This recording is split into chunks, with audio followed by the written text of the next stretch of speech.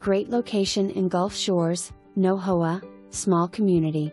Home has a pool, family room addition, dishwasher and stove only one year old, storage shed to remain.